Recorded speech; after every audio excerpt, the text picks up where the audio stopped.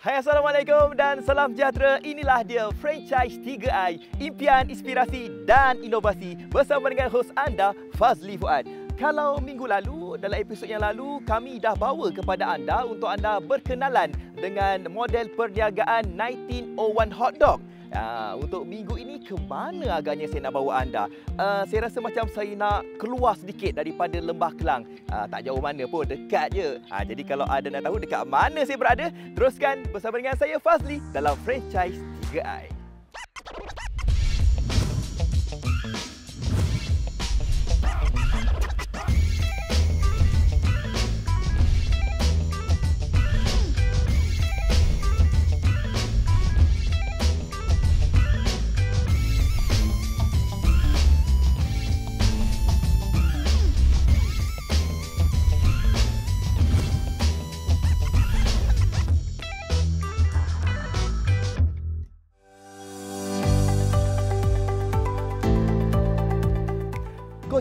Kojo lebu tuai padi tiga tangkai. Tapi sekarang saya bukan berada di Jelebu. Sekarang ni saya berada di Nilai Nogoi 9. Kalau bercakap uh, nama Nilai ini, ramai di antara kita yang rasa macam uh, nak beli langsir, nak beli kapet. Ah, untuk minggu ini, untuk episod kali ini, saya nak bawa kepada anda berkenalan dengan sebuah syarikat ataupun jenama yang turut bersama dengan Pernas dalam memajukan, mengembangkan potensi perniagaan dan keusahawanan di Malaysia. Nak tahu? Ha, jom ikut saya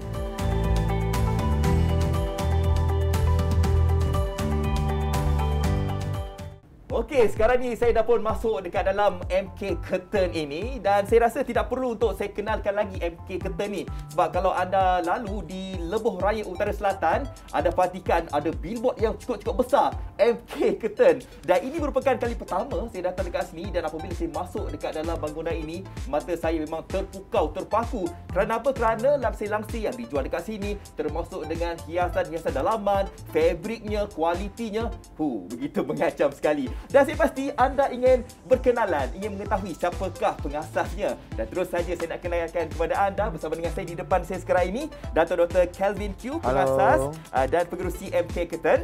Dan di sebelahnya kita juga bersama dengan Datin Moon, pengarah usaha MK Curtain. Okey, terima kasih Dato'. Yes, uh, bersama kami kasih, di Franchise 3i ya hu memang seronok lah saya dapat hmm. berkenalan dengan Datuk dan juga Datin. Hmm. Uh, jadi penonton pun nak tahu juga macam manalah agaknya MK Curtain ini uh, boleh ditubuhkan, dibina.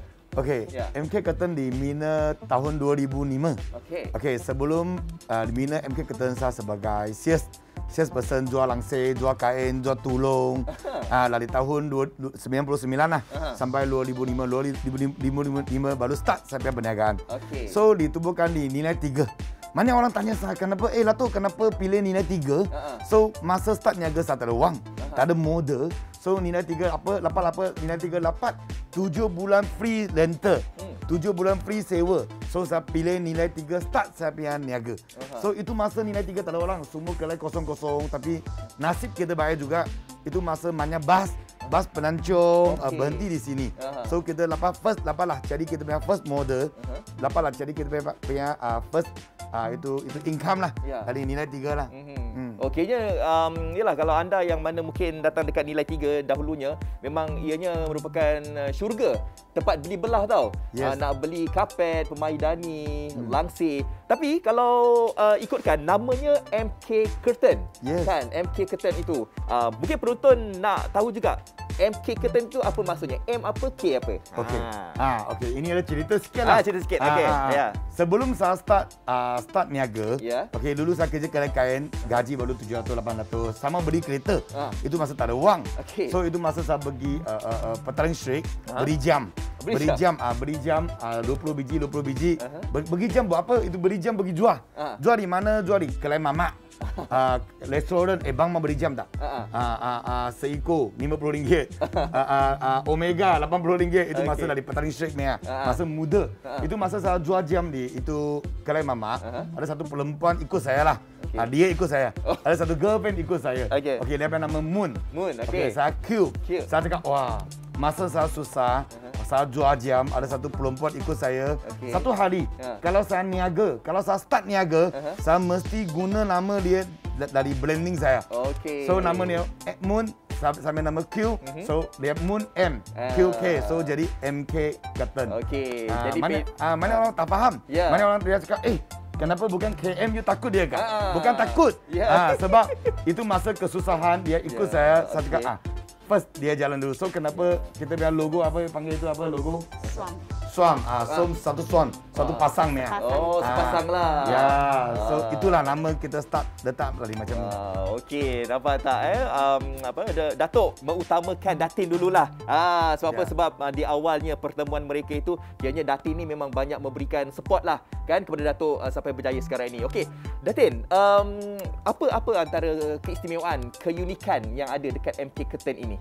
Ha yang bestnya uh, MK Curtain ni apa? Hmm, ha kita ada pilihan yang paling banyak. Okay. Uh, lepas tu kita punya langsir boleh ikut fashion sekarang. Mm-hmm. Uh. Okay. Pilihan banyak itu yang paling penting lah. Uh-huh. Kenapa kita biasa masuk ke lagi kita punya pilihan banyak? Apa uh-huh. itu pilihan banyak? Masuk sini. Oh, sama body style. Okay, ada body style. Mm-hmm. Sama English style. Ada English style.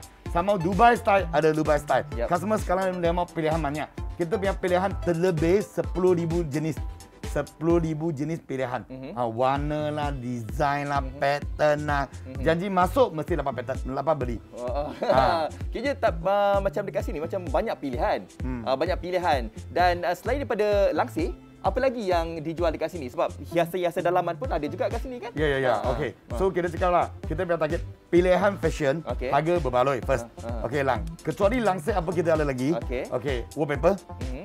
Blind.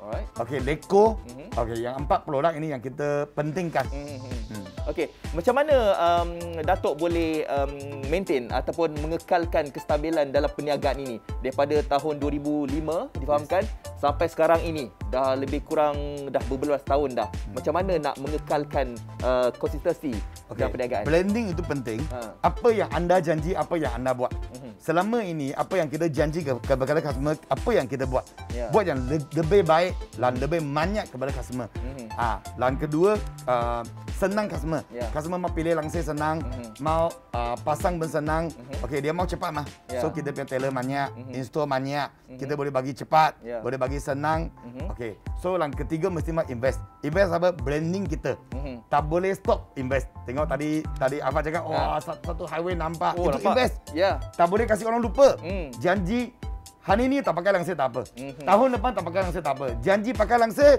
masuk dulu MK Ketat. Yeah.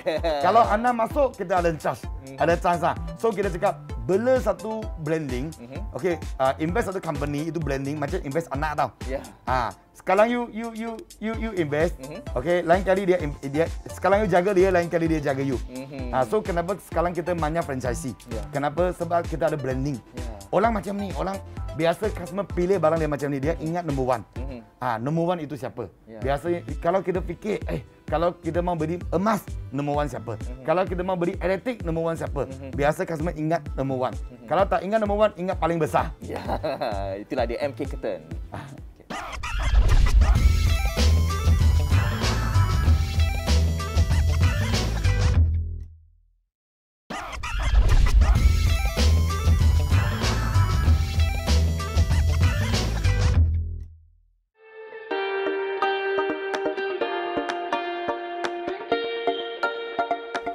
lihat Datuk dan juga Datin dah berjaya sebenarnya dalam perniagaan ini. Saya rasa uh, belum berjaya lagi lah. Tengah uh, belajar lagi, ini, Pak. Ini jutawan ni, jutawan hmm. ni. Berbangga hari ini sebenarnya dapat bersama dengan Datin dan juga Datuk. Okey, um, dalam uh, MK Ketain ni, saya lihat dekat sini, dekat nilai saja, sepanjang perjalanan saya kat sini, saya nampak bangunan di sekitar ni dah ada tiga dah. Uh, di kawasan nilai ada tiga. Uh, jadi secara keseluruhannya satu Malaysia ada berapa cawangan Datin? Uh, setakat ni kita ada cawangan 50 lebih lah. 50 lebih? Ya. Uh, uh, jadi banyaknya di mana? Di kawasan mana? Uh, Selangor. Selangor lagi? Ke mana lagi ada? Kuala Lumpur, Selangor, uh, lagi dekat Seremban. Uh-huh. Negeri Sembilan lah. Negeri Sembilan kita ada banyak. Johor ada Johor? Johor pun ada, Johor ada. Oh, itulah. Bercakap tentang Johor, difahamkan uh, Datuk sendiri pun asal dari Bukit Gambir, Muar Johor. Sama dengan apa ah, orang kampung. Sebab tu saya boleh gam. Kita satu kampung. Ah. ah. Saya boleh jadi jutawan juga. Mesti boleh. Saya tahu kan. Ah. Okey, um, kita lihat dalam perniagaan ini kan um, sudah pastinya ada cabaran-cabaran tau Datuk. Hmm. Ah, kita nak mula daripada bawah kan bermula macam Datuk kata tadi ada berapa ratus ringgit sahaja. Tapi sekarang ni saya pasti ada banyak sangat duit. Saya tak tahu lah berapa kan sekarang. Dan saya nak tahu juga, nak, nak tahu dari segi ada cabaran-cabaran ke Datuk?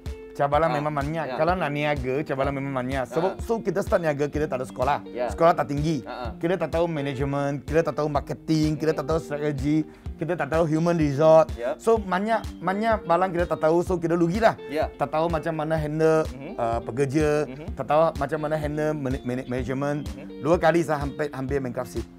Dua kali? Dua kali saya hampir bankruptcy. Uh-huh. Satu kali saya paling ingat, saya bawa kereta mau balik rumah dia, mau balik Tampin. Uh-huh. Terus sampai Johor itu okay, kita bawa kereta, uh-huh. otak fikir wang. Wang wang ah. Uh, otak fikir utang. Uh-huh. Takut. Uh, sebab takut. tak ada pengalaman. Ya, so ya. saya lajim pergi belajar lah. Uh-huh. Belajar di Taiwan, China, Hong Kong, oh. UK, pergi belajar. Ya. Fikir cari apa yang kekurangan kita. Uh-huh. Kenapa kita tak tahu strategi? Uh-huh. Kenapa kenapa kita tak tahu business model? Uh-huh. So semua entrepreneur Okay. Kalau sekarang niaga bukan saja jual barang. Uh. Kita bukan jual barang saja untung wang. Yeah. Kalau beli barang jual barang semua orang tahu. Yeah. Niaga ada strategi niaga. Yeah. Mesti mau tahu apa itu entrepreneurship.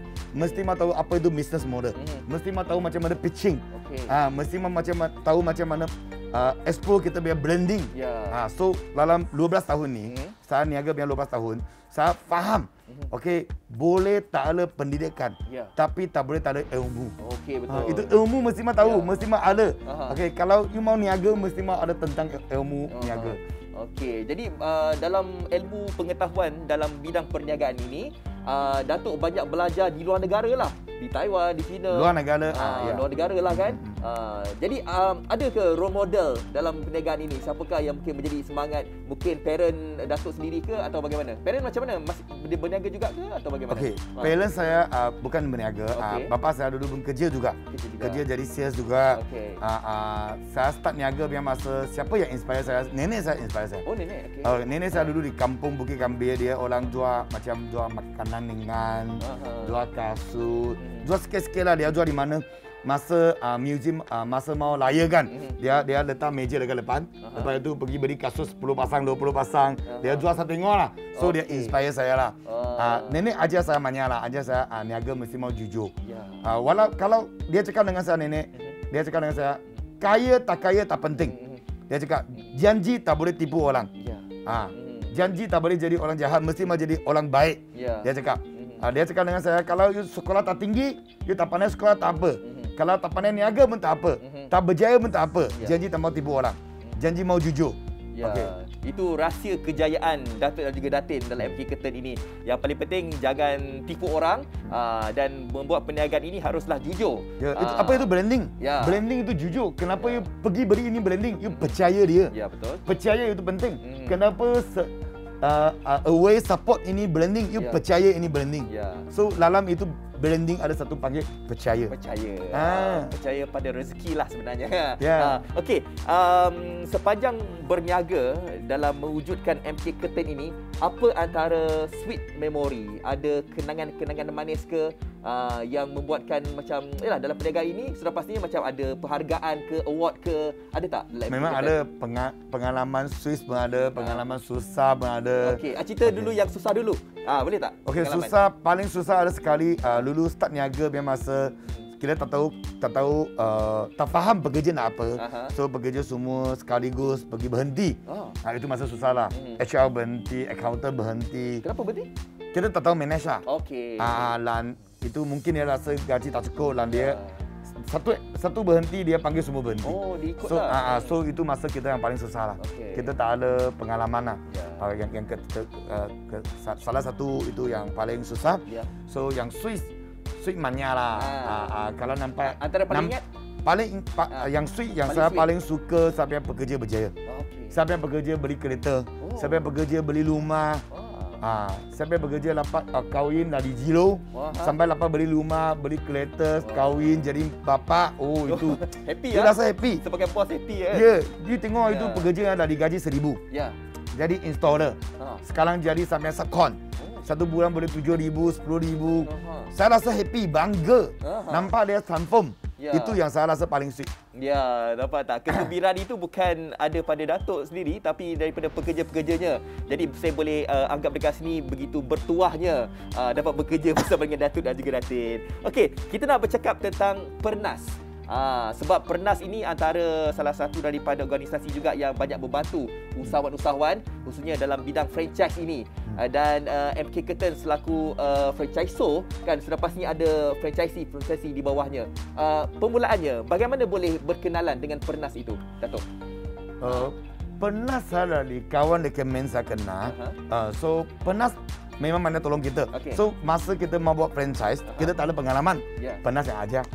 Dia yang bagi kita pengalaman, dia yang tunjuk kita. Uh-huh. Dia yang bagi tahu kita, eh, perlu macam mana buat. Okay. Step by step macam mana buat. Uh-huh. Masa kita mau start franchise, kita minta ada modal pun tak banyak. Yeah. Penas yang support.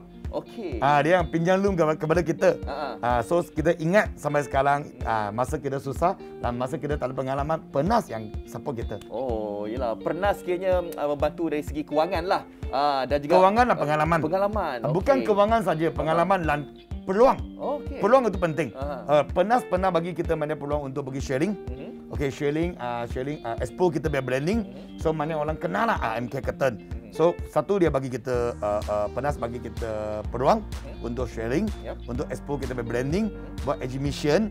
Okey, okey. Kedua dari pengalaman apa yang kita tak tahu kita tanya pengarah, tanya uh, Pernas punya pengawai, yeah. dia ajar. Uh-huh. Dia bagi tahu apa perlu buat step A, step B, step C. Uh-huh. Ketiga kewangan. Yeah. Uh, kalau kita mau buka franchise, kita mau buka cawangan, kita biar kewangan tak cukup, yeah. dia pinjam loan. Uh. Inilah dia kita, kita Pernas bagi kita. Yeah. Yeah. Cukup sangatlah di lebih. Cukup sangat. Banyak bantuan-bantuan daripada Pernas yeah. untuk menaikkan lagi jenama-jenama perniagaan yang kita buat kan.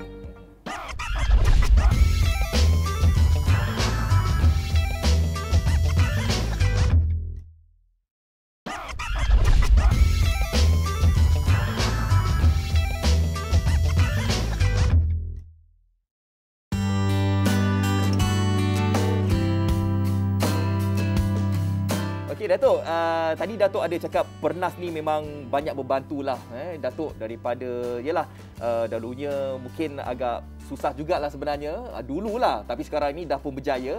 Uh, kan? Jadi Pernas kini banyak membantu. Okey dan uh, Datuk pun ada mengatakan bahawa Pernas ini uh, ada membantu dari segi latihan-latihan. Uh, jadi mungkin ada penonton sekarang ini yang rasa macam berminat. Uh, mungkin nak membuka cawangan-cawangan uh, menjadi uh, franchisee dan sebagainya. Uh, apa bantuan-bantuan teknikal kata-kata daripada Pernas kepada Datuk sendiri? Okay, first Pernas pernah buat banyak uh, uh, uh, itu sharing dia itu talk. Okay. okay, dia pernah invite banyak speaker datang, usahawan datang sharing. Itu masa kita dapat belajar lah. Aha. Belajar pengalaman dari usahawan-usahawan itu masa. Yeah. Kedua, dia dia pernah sah, dia bagi kita tahu cara franchisee. Okay. Cara macam mana manage franchise. Okey, cara macam mana build untuk franchise. Macam pernah-pernah cakap saya. Satu pengalaman lah. Okay. Kalau satu franchise ambil satu cawangan, okey, hmm. itu strategi kalahnya. Hmm. Kalau satu franchise ambil lima cawangan, itu itu strategi betul punya. Oh. Kenapa kita mau build kita punya franchise dapat dapat beruntung? Uh-huh. Kalau dia beruntung, dia mesti buka kedua, ketiga, keempat. Betul. Kalau dia ambil satu saja, mana dia tak boleh untung? Hmm. So kita inilah pernah bagi pengalaman saya. Satu franchise boleh okay. buka tiga sampai lima. Hmm. So 10 orang boleh sudah dapat 50 cawangan. Yeah. Tak perlu jadi 50 orang. Mm-hmm. Itu strategi penas yang bagi saya tahu. Yeah. Ha. Okey, uh, Datuk membuka ke peluang kepada uh, orang luar yang mungkin macam nak buka MK Curtain dekat tempat mereka. Ada peluang itu? Eh ha. memang buka. Ha. Memang buka ini ha. memang ada peluang. Ada Kalau peluang. ada niat lah, ada ha. niat nak nak nak jual langsir, langsir ha. nak dibilang design. Okey. Mm-hmm. Welcome. Yeah. Welcome to MK Curtain. Wow, boleh jugalah sebenarnya. Jadi anda semua yang mungkin rasa macam nak jadi usahawan, hmm. uh, jual langsir ke, kan, jual hiasan dalaman, uh, boleh uh, menghubungi pihak Pernas pun boleh, uh, Datuk pun boleh juga sebenarnya. Okey, nak tahu dari segi perancangan pula, perancangan di masa yang akan datang. Kita lihat uh, MK Curtain ni dah pun berjaya tetapi mungkin nak lagi menggapai impian yang lebih besar lagi apa perancangan selepas ini. Okey, perancangan next target kita mau pergi Indonesia. Okey. Okey, so kita sudah pergi Singapura, hmm. Indonesia, Brunei. Uh, ini dua negara kita nak pergi. Okay. Nah, second kita nak buat lagi one stop one stop center. Okay. Kita mau buat MK Concept Store. Alright. Ah, uh, concept store kita mau buat macam hotel. Oh. You masuk itu hotel, semua bilik itu langsir satu design satu design. Oh. Satu bilik satu design. Okay. Complete punya. Termasuk langsir wallpaper, kerusi, tilam, amari, complete jual. Boleh jual satu bilik. Okey. Ah, you boleh pindah itu bilik bagi rumah you. Oh, kira macam showroom lah. Ah, showroom. Ah. So, saya showroom akan buat macam mana? Masuk itu kedai, uh-huh. 100 showroom. Okey. Lepas 100 pilihan, 100 design. Okey. Dekat mana paling nak buat dekat nilai, mana? Nilai, Dekat nilai lah. akan buat ni nilai. Okey. kalau Kalau semua okey dalam tahun depan saya akan buat lah. Oh. Uh, one stop uh, from the curtain showroom to the satu bilik satu bilik dan pergi uh, ke the smart home. Okay. Uh, kita mau pergi smart home lah. Sekarang semua orang cakap smart home lah. Ya, smart tepuk tangan saja buka, tepuk ah, tangan ada tutup. Berlapu tutup semua. Uh, uh, itu next lah kita mau buat lah. Okay, wow. Hmm. Best, best, best. Hmm. Sabar nak tengok nanti. Yes. Okey, uh, yang terakhir ini mungkin kata-kata nasihat ataupun tip berkaitan dengan perniagaan ini. Uh, mungkin ada di antara penonton yang rasa macam nak jadikan uh, Datuk sebagai idola mereka. Ah, apa tipnya? Kita tak dapat pilih latar belakang kita, tapi kita boleh pilih masa depan kita. Tak kira lah lulu kita miskin ke, kaya ke, sekolah tinggi ke, sekolah rendah ke, tak kisah. Janji sekarang, start sekarang kita mau belajar. Okey, apa tak tahu, tak faham kita tanya. Okey, kita tanya, kita nak belajar memang kita boleh berjaya. Semua orang pun ada peluang boleh berjaya. Semua orang pun ada peluang boleh jadi lineman. Ya, maksudnya dekat sini uh, Datuk kata uh, kita jangan melihat uh, sejarah belakang kita, apa yang berlaku di ke belakang hari dan kita harus move forward, kita harus lihat ke hadapan dan kita harus mencari ilmu pengetahuan. Kalau anda kata kita ni tidak uh, berminat dalam pengajaran, pelajaran, tidak mengapa, tetapi kita harus mencari ilmu pengetahuan dalam bidang perniagaan. Ya, ya, ya, jangan komplain. Jangan komplain. Uh, mana orang dia jangan tak berjaya dia komplain. Ya. Kenapa tak berjaya? Mak saya tak kaya, so saya tak berjaya. Ya. Kenapa tak berjaya? Sebab sekolah tak tinggi tak berjaya. Uh. Itu tak ada kaitan. Yeah. Itu sudah lepas. Mm-hmm. You mau cari ilmu sekarang. Betul. You mau cari cara sekarang. Mm-hmm.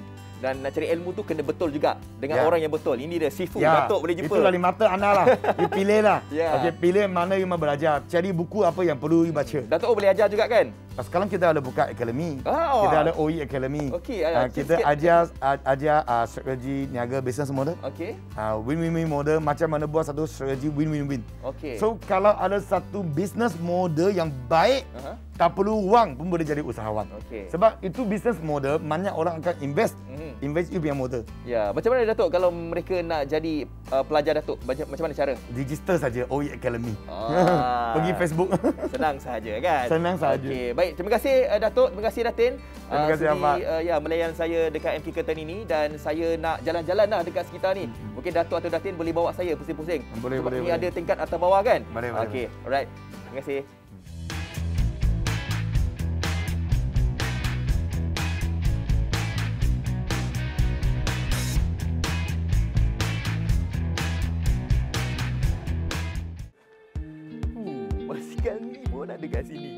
Okey, ha inilah saya rasa lokasi yang paling strategik, paling sesuai kalau ada di antara anda yang rasa macam nak cari langsir, nak dapatkan hiasan dalaman yang sangat-sangat menarik, uh, mewah dan sebagainya, inilah tempatnya MK Curtain. Okey, uh, mungkin ada di antara kita yang rasa macam nak jalankan perniagaan yang sama, ha, serupa macam ni. Boleh, caranya begitu mudah sekali. Anda layari sahaja laman Sesawang Pernas iaitu di www.pernas.my ataupun pergi saja ke media sosial mereka dengan carian hashtag Cari Pernas. Sampai di sini saja untuk minggu ini dan minggu depan. Nak tahu siapakah yang akan kami terbual? Teruskan bersama dengan franchise 3i. Impian, inspirasi dan inovasi. Assalamualaikum. Bye-bye.